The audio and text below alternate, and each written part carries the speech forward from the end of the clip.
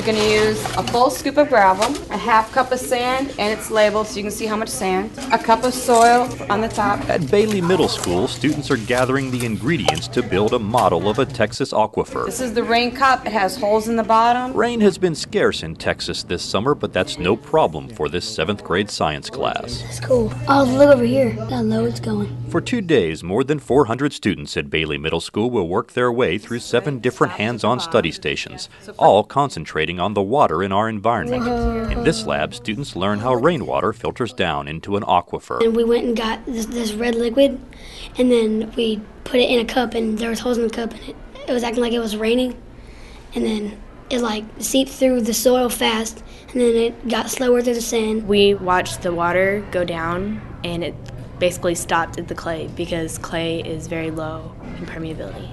Like say there's a town above this. Yeah, And then it and then that's the- And then it goes stops, and then it stops down there. Got it. We have a big emphasis here on speaking and writing. If they can tell you what they've learned, um, if they can write what they've learned, then you know they've really learned it. Look at this right here. This is what an aquifer would look like in real life. See, I knew it. Clay, gravel, sand, soil. Bailey Middle School gets a lot of help from our community members.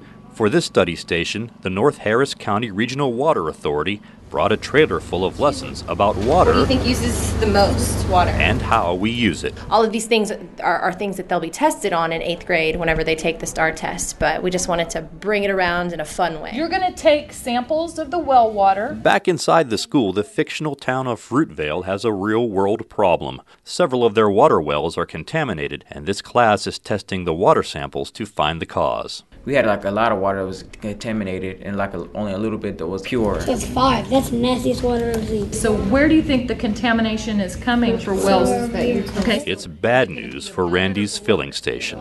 Pollution from the oil that's being put in the cars. Yeah. Okay, maybe something's leaking out at that gas station. Since we're doing stuff like scientists do, I'm just thinking like, hey, hey, this, this is pretty cool. I, I, I like this. And I, I'm pretty sure like most of the other students, they're saying like, wow, I feel like a real scientist. Good job, guys. Good job. So see if you can describe that in a sentence down here. And so we've talked about forest fires because you know we experienced that in Texas this summer, and uh, drought is going on right now, and they seem to be really interested in that and to just understand that how many inches a lake is below level, you know, for our water sources, and you know, I mean, who knows that kind of information unless we give that information to them, and so often people think, oh, these are just uh, you know teenagers, they don't care, and that's not the truth. They really do care, and they really are interested in learning about it. Making learning interesting is something Bailey Middle School does every day, rain or shine.